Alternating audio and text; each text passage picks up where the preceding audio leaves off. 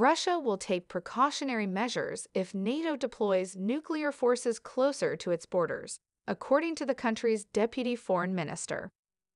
Alexander Grushko added that Moscow has no hostile intentions towards Finland and Sweden who have moved to join the Western Alliance. But he said he doesn't see real reasons for the two countries to make such a decision.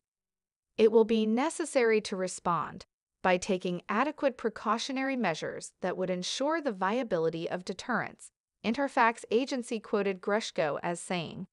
Kremlin forces invaded Ukraine in February because the Russian president wanted to push the Western military alliance back from his country's borders. He has demanded the former Soviet allies never be allowed to become a member of the alliance.